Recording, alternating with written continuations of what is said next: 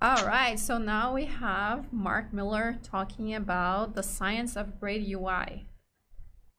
Um, thank you. Uh, welcome, everybody. Uh, glad to have you out here with me. Uh, I'm Mark Miller. I work, work for, for DevExpress. I am like ready to go right into my slides. So I'm going to share my screen with you guys and uh, see how this looks uh, for you guys over there, if you can see it.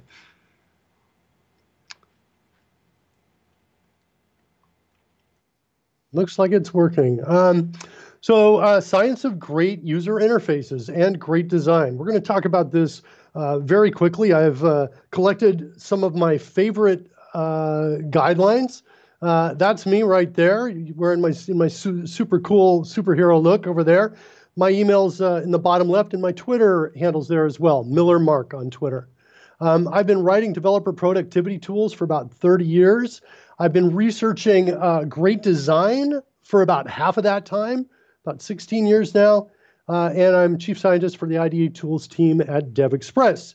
Um, the product that I spend most of my time working on is CodeRush uh, for Visual Studio. Um, so that's a little bit about me. Uh, here's what we're going to hit, and I think we're going to hit these things pretty quickly. We're going to talk about emphasis and importance, contrast and readability, proximity and layout, borders and spacing, and fill and corners. So emphasis and importance first. So emphasis is the ability to make information appear important. Uh, and here are some of the ways that we can do this. Right? So it's to some degree, you could look at this and say, well, I can see that one way I could characterize this is saying, well, most of the text is referenced is rendered uh, in one way, but portion of it is re rendered a different way. So that's one of the ways that we can do it is just by being different. Um, and we can also do things with contrast, saturation, shadow, that sort of thing. So emphasis is the ability to make information appear important. Keep this in mind as we move forward. Now, I know some things about some superheroes. Uh, I know about Batgirl, I know about the Hulk, I know about Scarlet Witch, and I know about Superman. All right. I know about their powers, and I know about their secret identities, and I know about their chances of beating me in a, a battle. And uh, let's organize the information that we know. So I'll create a, a table, and we'll put some columns, headers here uh, for the information. We'll put the uh, Batgirl here, secret identity, Barbara Gordon, chances of beating me in a fight, 100%.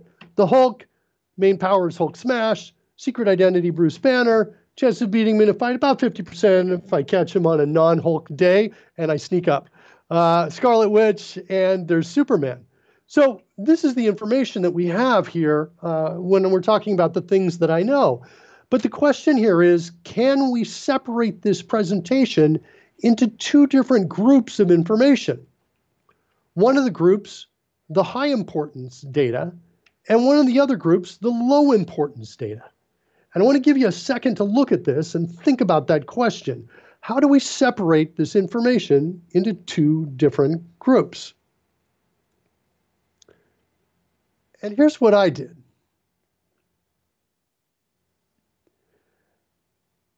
If you're looking at the text and thinking, well, which parts of the text are important and which ones are not, then uh, you're missing a really important concept. And the important concept is that everything on screen is information, even the borders, right? Even the background. Everything on screen in an interesting presentation is, is information. And so the question is, what's important and what's not, is a good question to ask. Um, the reason why, well, we'll take a look at as we move forward here. You'll see it in a second. Everything here in this table, if we zoom in on it, and going even closer, notice that the width of the border lines is equal to the width of the font stroke.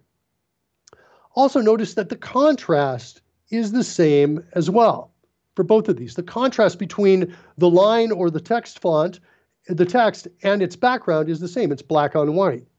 So in this presentation that we have here, the emphasis is the same everywhere experiment, we might take the border lines and say, well, let's really emphasize those.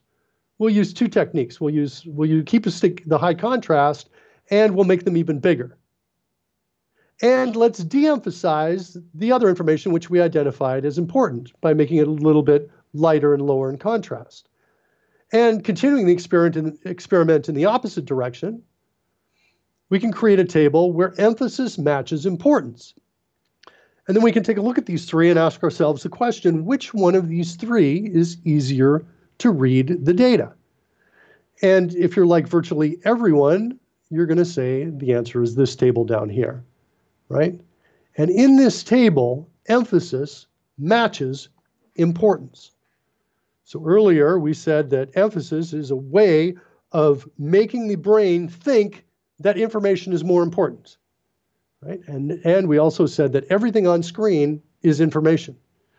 Well, now what we can do is we can use this guideline, emphasis matches importance, to create things that are uh, presentations that are easier to read.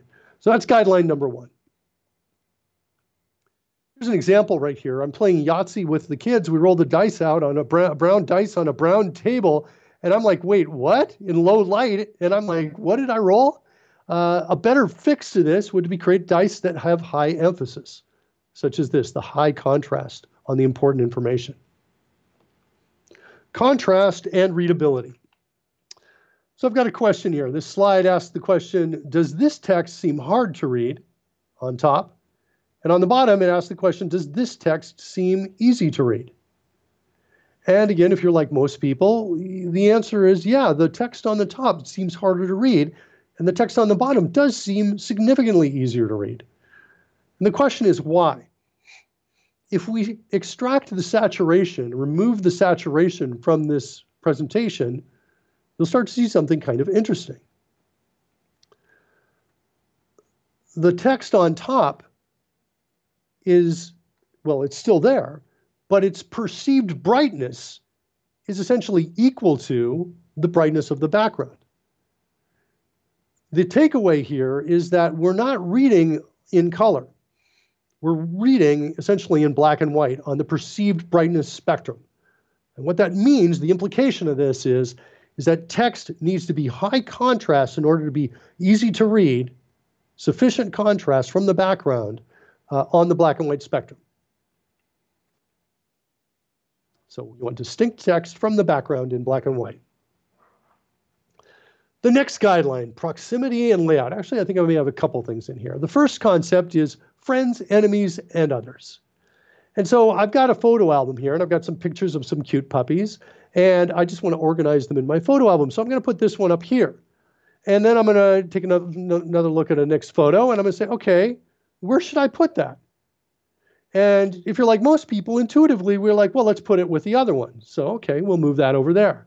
And let's look at another photo. Oh, more cute puppies. Okay, we'll put that right here. And then we'll take a look at another one of the photos I've got. And uh-oh, does it go over here?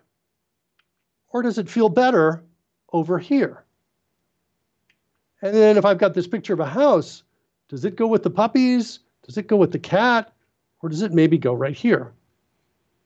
Kind of an interesting example, but it's to illustrate a point that friends information that is contextually related feels better and is more readily uh, digested and understood when that information is close to other friends. And similarly, it's more easily understood when it's far away from the enemies. So that's what we want to do. When we're looking at information, we want to identify friends or closely contextually related pieces of information, uh, and we want to identify enemies as well. Here's an example in real life which button do I press to go to the 30th floor? I'll let you think about that for a little bit. And maybe you're thinking, okay, Mark, that's not fair. You zoomed in really close, right? I want to see more. I'm like, okay, but you know, if you were blind, you'd just get what your fingers were touching. This would be it. But I'll give you more. Here's more. Which button do I press to get to the 30th floor? And now I think you may be starting to see the problem, right? One of these buttons is a friend of the label that's next to it. And one of these buttons is an enemy to the label that is on its other side, right? In other words, the button to the 30th floor is the enemy of the 29th floor label. And yet they're equidistant apart. It's what I call a proximity violation, right? So we want to follow that guideline. Here's another example. Which way to Fort Worth? Right?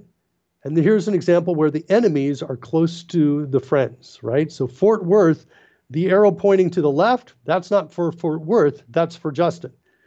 In fact, how many people do you want to bet came to the sign and they turned the wrong way because that arrow pointing to the left is so close to Fort Worth? Yeah. Kevnik out there in the chat room says, geez, who couldn't figure that out? Um, a couple ways to fix it. One is to follow the proximity guidelines. Put the friends close together. So put Fort Worth text next to its arrow. Uh, here's another way to do the same thing. Here's another th way we could do it, where we could keep things in the same place, but use a background color change to indicate which how our, our friends are contextually grouped together. Uh, or we could use a line, a border line. Out of all of these, the one in the upper left is my favorite because it's scalable for multiple cities and requires really no changes to any of the printing mechanics uh, for creating these signs. So there's the original, and there's our fix over on the right. So friends close, enemies apart. These are the proximity guidelines. Borders and spacing. So I had this question a few years ago. The question is, well, I've got my text and I want to put a border around it, but where do I put it? I couldn't find any guidelines for this um, out in the real world, and based on um, my research, I still think there's nothing out there uh, that that describes the answer to this question. I'll I'll show you what I came up with, and this is based on a fair amount of research, including research in the way we recognize and understand the letters and actually the parts of the letters. Uh, those come from uh, something called the feature detectors in our brains. So when I say the parts of the letters, I mean the crosses and the curves and the endpoints. Uh, and here's what I came up with. Well, actually, before I show you that, I'll just clearly show you extremes, right? Sometimes I'll go to extremes when I'm researching a problem. Here's an extreme right here where it just simply, it, it looks and feels too far away. And here's another extreme where it just looks and feels too close. So we know the answer is between these two. Uh, here's what I came up with. I take the distance of the space, the width of the space between two letters, and I multiply that by 1.5. And I simply add that to the, the sides. Excuse me. And I also add that up to the tops and bottoms as well. and that is the answer to the question. It's far enough away that our letter detectors won't be won't ever confuse it for a potentially another letter next to the ending letters of the text or the beginning letters of the text. It's far enough away so we won't confuse that, which means our cognitive load is down, which means it's easier to read. Okay? Um, but it's not too far away, right? So it's just in there at this nice, nice, uh, close distance. Now, there are ways to get it even closer. For example, if I change the contrast of the line, notice I've still got it the same thickness. This line is as thick as the stroke width of the fonts. I can bring it in closer. I can also change the thickness. I can maintain the same uh, contrast uh, and just make it super thin, or do both, make it both lighter in contrast, lower contrast, and make it thinner if I need to really get in tight. So those are two different ways to get to kind of violate that rule. So uh, when I do this presentation in front of a live audience, I'm often uh, I'll bring this slide up and I'll say, "Hey, what do you which do you prefer, the one on the left or the one on the right?" And virtually everybody says the one on the right. And I say, "Okay, which do you prefer here?" Just doing our A/B testing. Everybody says the right. And I'm like, uh, which one do you prefer here? And around here, about 97% of, of the folks in the room, 95 to 97%, say the one on the right still. And the takeaway here is that the, the guideline for borders is that they should be thin and low contrast.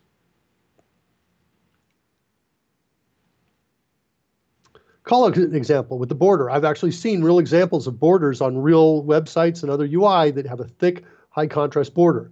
That's incorrect. That's the one on the right. Sorry, the one on the right is the way to do it. Fill and corners. So I've got two stars in the middle of the screen. And the question here is which star looks bigger, the one on the left or the one on the right? Uh, and if you are, uh, if you're like most people, you're going to say the one on the right looks bigger. In reality, they actually are constrained by the same bounding boxes. But the one on the right has got rounded corners. Uh, and as a result has about 34, 35% almost more pixels than the one on the left. Um, the uh, the takeaway here is that if you want icons to be easier to see and you're constrained by by the size of the icon, like in a particular box, like 16 by 16, use rounded corners for the icons. Uh, salience. So salience is a really kind of interesting topic, and it, it, and the idea of salience is what does your brain consider important? Why is that an important question to ask when we're talking about good design? Because whatever your brain considers important, that's what you're going to kind of be be working on, focusing on, right? And so the question is, with this particular shape, what do you find most important? Do you find the curve in the back? Maybe these curves in the front, or this point right here. And if you're like most people, you identify this section right here as the most important part of this particular shape. The takeaway here, and it's supported by research, is that sharp corners are considered salient. In other words, we in naturally infer that they are important when we look at them. And if we do sharp corners and they're not really important, then we're kind of like, well, I'm not sure what's going on, and there's a little bit of confusion. Hollow versus, versus filled. So this question comes up which is better, a hollow button or a filled button? And I start going through all the way different ways we can evaluate this. Um, for example, how many pixels are visible excluding the text? And with the hollow button, we've got about 1,000 pixels. And with the filled, we've got about 10,000. Okay. How many shapes do we have to process? Well, for the hollow, there are two. You've got this kind of outer rectangle and an inner rectangle. You could argue that both of those have to be processed. Uh, and with the filled, you've only got one, like that. Now, you could also argue, well, wait, maybe it's not shapes, maybe it's just corners. How many corners do they have? Well, the hollow's got eight because this and this are both corners. And at some level, we're processing this inside of our minds, right? And if we're processing it, then you can argue cognitive load is a little bit higher. Whereas the filled only got four corners. Peripheral image, and this is actually the most important, in my opinion, one, if not the most important, the second most important criteria. What does this look like when you're not looking at it?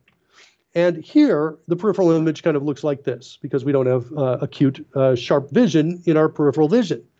The filled looks like this, so we can still see it and identify it as a button. From my perspective, the one on the right is more desirable, uh, especially for an important button that leads me on the path to something critical that I'm designing the user interface for. For example, I might be designing the user interface for a website, and clicking this button means uh, more sales, or more registrations, or more signups. The graphical message here is that the border is important, whereas here, the button is important.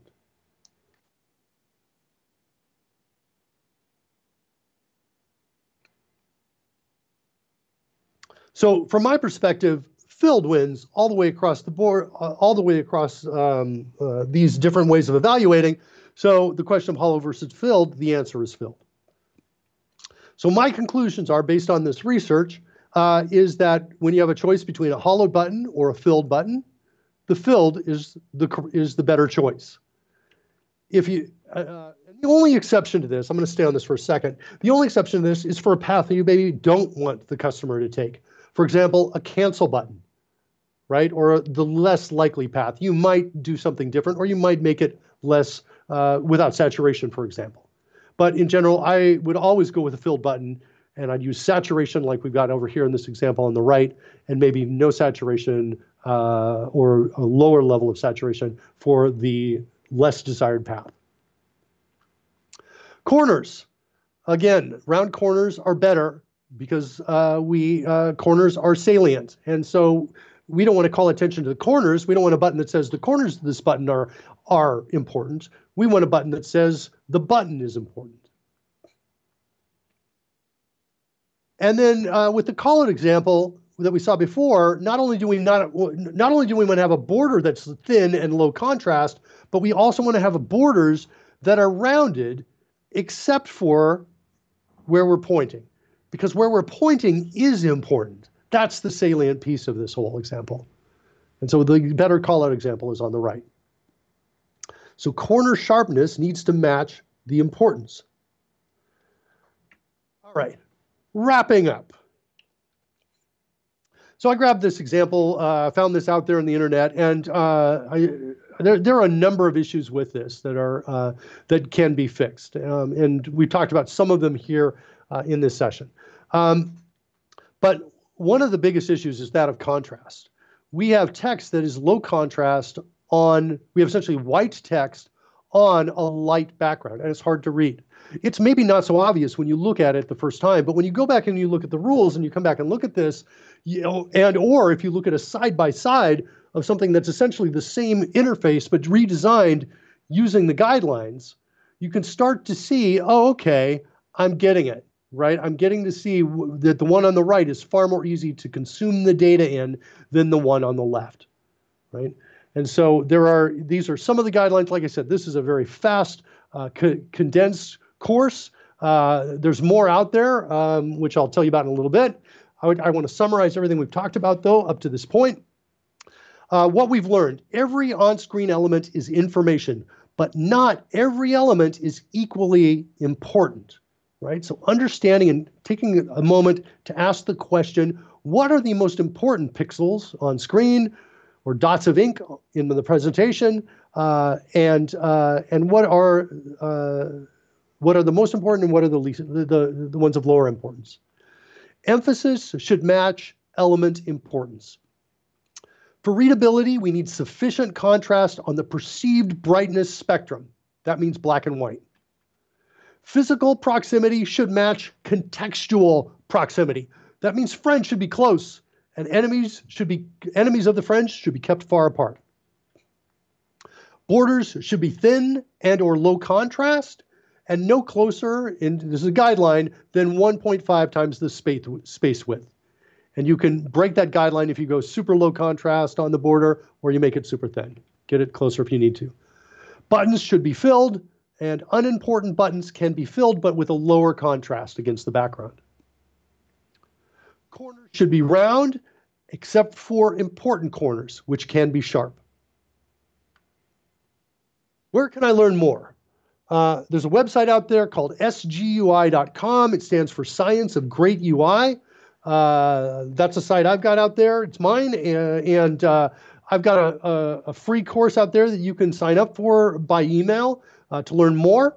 Um, also, if you go to deviq.com, you can uh, get uh, the full-on Science of Great UI course. And we've got a free offer for co- .NET Conference viewers, courtesy of DevExpress.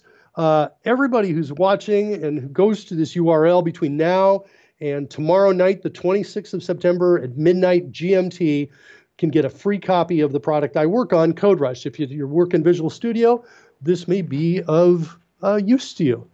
And uh, with that, I believe I'm done, and you can uh, we can uh, answer questions. Hello, and we're back. Uh, so this was an awesome talk, and the feedback on the stream has been awesome. Like I think not only myself but everyone yeah. included was learning lots of things about UI, which we get to um, we don't get to think about it every day. So really cool. Uh, some people were asking about if you're gonna share uh, your slides they want to share with students and things like that. So are you gonna post it somewhere? I am not gonna do that. Um, I have like a. Uh, uh, I suggest instead going to the sgui.com. You can get material there. Uh, and uh, sometimes I'll give away a PDF at conferences. I'm going to be speaking at Dev Intersection coming up. I've got a like a full day workshop. I think there maybe, uh, and I know I've got three courses there as well. And so people can come to those as well if they want to get those those PDFs that I give away.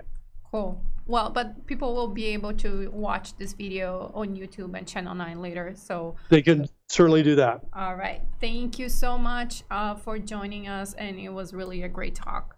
All right. Thank you.